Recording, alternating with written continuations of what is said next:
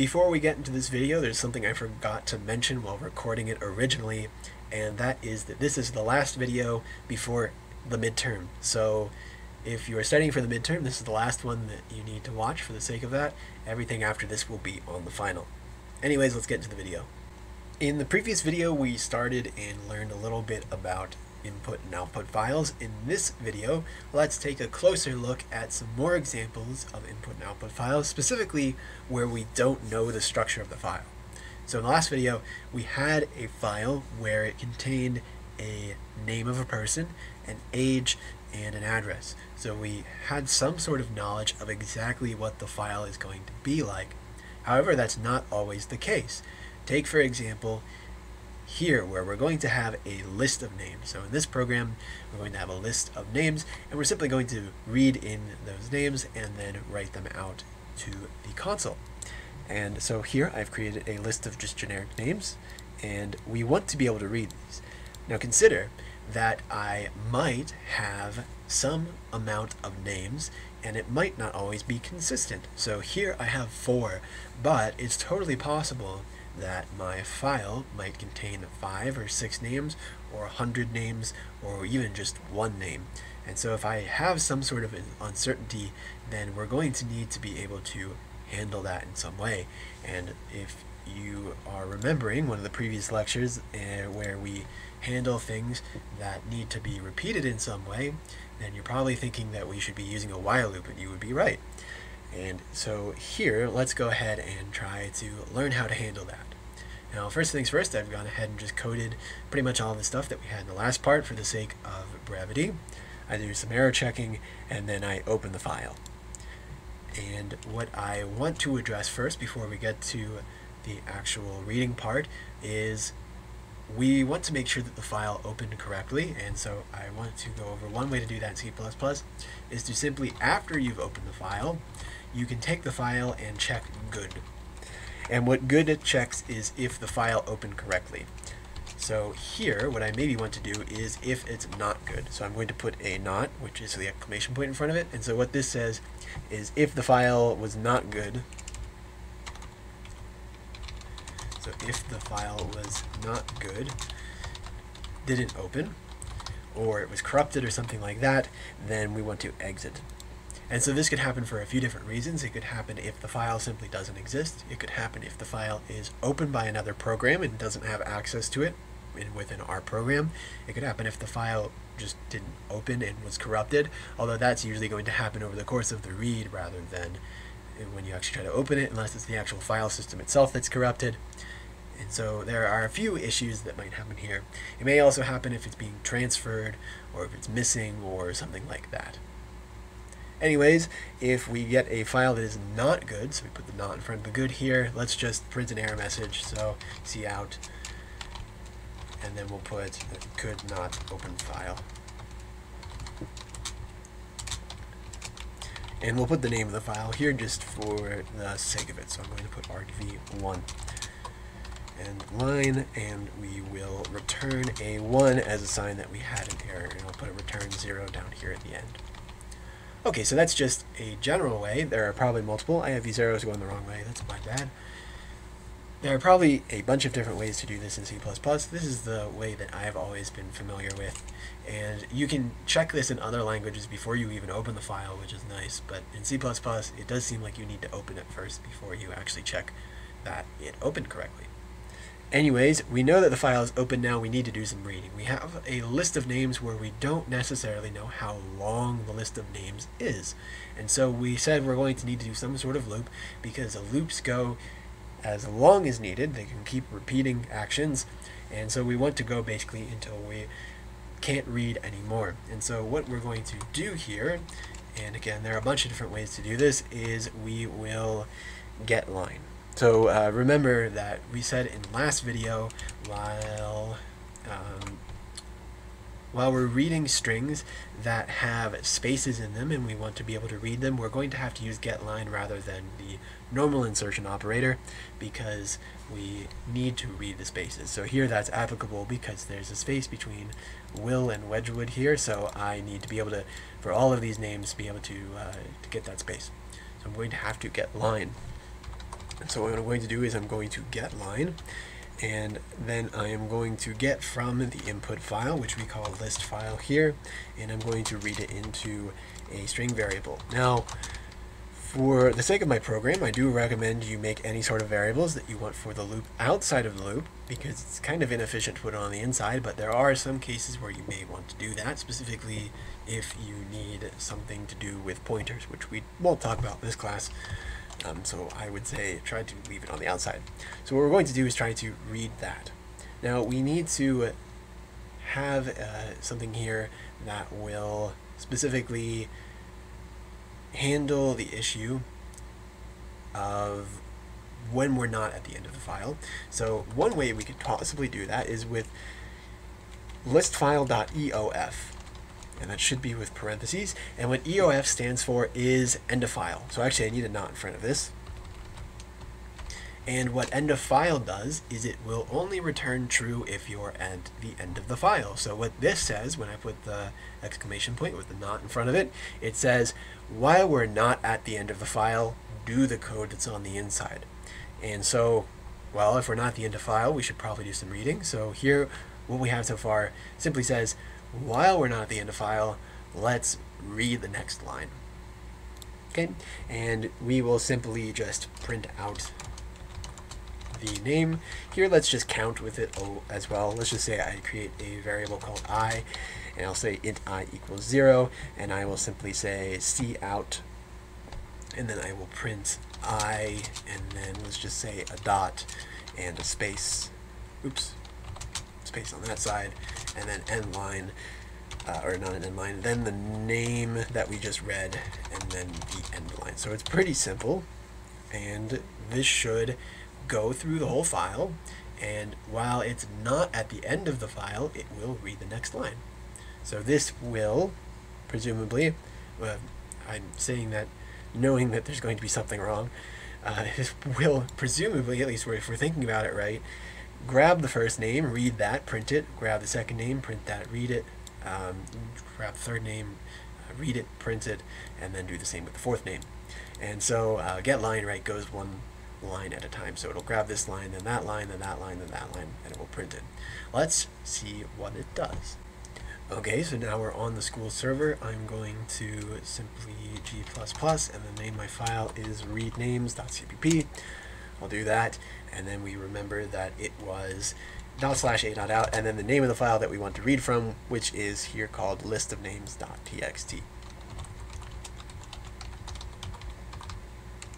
And so I do that, and ah, there is an issue. Two issues, in fact, I forgot to count, but that's not what I meant to be the issue. The issue here is that we get this weird space at the end, and this has to do with the way file pointers work. Okay, so here, for the sake of the example, I've created an example file called example file, and it contains three strings in it. And what we said in the last video is that whenever you open a file, the file pointer, which is just the thing that kind of is like the blinking line in a text editor, it's going to start at the beginning of the file. So as far as when it begins reading things, it starts at the very beginning and it's going to read left to right as it reads. So here, when I do something like get line, it's going to get the end of the line. And our code looks something like this, where it said while not in file dot end of file, then keep reading. So here we have that. And I would then, whenever it gets a line, it would simply go from the beginning here, and then it would go to the end of the line. So uh, the first get line would do this, and then it would check, well, are we at the end of the file? no, we're not at the end of file, and so we'll go to the next line, and then are we end of the file? No, and then we're not. And so you would think at this point I'm at the end of the file, right? If I did three get lines in a row where I read string 0, string 1, string 2, I'm at the end of the file.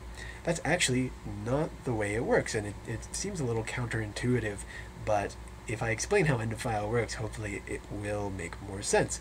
So the way end of file works is it is only triggered when a read fails. So if we consider what just happened in our program, it read string 0, it read string 1, and then it read string 2. And so it's done those three reads so far. It did this one, this one, and then that one, and now the file pointer is here. And so if it does the next read, it's not going to be able to do anything successfully. And the reason that is, is because there's just nothing left in the file for it to read. But um, it does not actually mean that it's at the end of the file yet. So end of file is only triggered when a read fails, which is probably not the way that you would expect it to work, but it does make sense if we think about uh, the fact that it can't really like look ahead in the file, right? So even though we just read string 2, as far as the file knows, there still could be stuff beyond that. It really can't know until it looks ahead at the next thing. And so here, uh, when it's on this this like imaginary line and just floating in space here over there, it doesn't know that there's nothing over there yet, and it can't know until you try to do a read. And so there is some stuff that we can do to try and make this work, and we will check that over in our code. Okay, so we're over in our code now. First things first, let me add the i++ plus that I forgot to put. Let's actually count. And so we're going to need to edit our code a little bit. The way I'm going to do this is something that you should definitely remember, so keep this in mind, especially if you're going to be doing some future programming, because this is the way that you should do reading in C++. What I'm going to do is I'm going to do a single read before we get into the while loop, and then I'm going to do a read at the end. And so let's just explain exactly what I'm doing here. What I'm doing is I'm reading the first line. And so the reason I do that is for two reasons actually. The first reason is because I've moved the other get line to the end, which I'll explain why I did that in a second. And the other reason I've done this is in case we encounter a file that has nothing in it. So consider that a list of names can contain any number of names, so it can contain one name or four names or five names, but it's equally valid for it to contain zero names. That is still technically a valid list of names, it's just a list of no names. And so if I have something that's zero names, and aka just an empty file, if I get line before the while happens, what will happen is we said end of file is triggered when a read fails. And if we have an empty file with nothing in it, the read is going to fail immediately because there's nothing inside of it. And so what will happen is it will get the line, it will fail, and then the while loop just never happens because there's nothing to do. And so that handles that. The other reason I said is because of the fact that we had to move this to the end. And uh, the reason that is, is because we're waiting for this to happen here at the end. And so if I wanted to print the name, so here I, I have it print the name on this line. If I didn't have a get line before my while loop started, then name would just be random garbage. Because if this line was gone, if I comment this out, then name isn't set to anything, at least for my first loop, right? I haven't set it to some blank string, and as far as the compiler knows, that's just, it's meaningless. There's nothing that that name contains, and it may generate an error if you even try to compile this, and if it does compile, it will probably just spit out some garbage, or give you a core dump or something strange like that. So make sure that you're setting the variable. Here I'm making sure to read a name, assuming that there's the first name of the file before I print it. Now to justify why I moved the get line to the end. And so the reason I do this is we are now printing before we get the line. Um, previously, we were getting line and then printing, which is, I think, the common sense way to do things, right? If I gave you a list of names like we had in our example, then you would probably think, oh, I'll grab it first and then I'll print it. And I think that makes perfect sense, but we actually kind of need to turn around our thinking. If we're trying to trigger end of file, which only happens if a read fails, then we are going to need to do a read before we do the check of end file. And so that's why I've it to the end here. What this will do is it will read the first line, print it, and then try to get the next line before we try to print anything.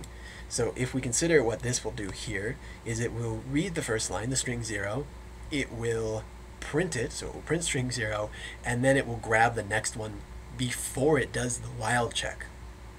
And so as far as the execution of this goes, it will grab string 0 before it enters the while loop, print it, get string 1 at the end of the first loop and then print it on the second loop, it will grab string 2 on the next loop, or sorry, on that same loop and print it on the next loop, and then it will grab the garbage before it goes up to the top, meaning that this right here will get triggered to be end of file before it tries to do any sort of printing. So notice now if I move this, if I had this originally here, the order of execution of this code is get line, then the print code. But if I move it to the end here, the execution of this code is get line, then check the condition that you're end of file, then print line. And if I do the second loop, it will get line, reach the end of the while loop, come back up here and check the end of file before the print happens. So if I had it at the beginning, there's no check for end of file between this line of code and this the outline of code. But if I put it at the end, this, because of the way loops work, where it comes back up to the top, has to do the end of file check in between the line of code where it prints and it does the get line. So now, before I try to do any sort of printing of bad stuff, I am going to check to make sure that I actually successfully read before I continued. Finally, let's see this in action really quick, so let's go ahead and run it. Okay, so we'll go ahead and recompile and run it, and there we go. It now works. It prints all of the names from that file in order and with numbers, and so it handles variable length input. So it's a little counterintuitive the way that we have to do this. You do need to read twice, one before a loop and one at the out uh, at the bottom of it. And so the last thing that I'm going to leave this with is just how to do this in Visual Studio. So if you're not using Visual Studio, feel free to go ahead and stop watching now. I just want to go over how you do files if you're doing Visual Studio. Okay, so I'm in Visual Studio. I've copied over that list of names.txt from the server, and I'm going to copy it into my project. So what I'm going to need to do is go over to my project, which is the little purple one up here. It's the box, and I'm going to right click it and hit add. And what I want to do is I, I, want to add an existing item. You could also add a new item and use that as your file if you just type in things, but I already have a file that exists, so I'm going to do existing items. You'll see I have a list of names here. Copying it to the directory is not enough. You have to make sure that's included in your project. So here it's already in the directory, but it's not included in the project. Double click it, and you'll see that it appears in my project now.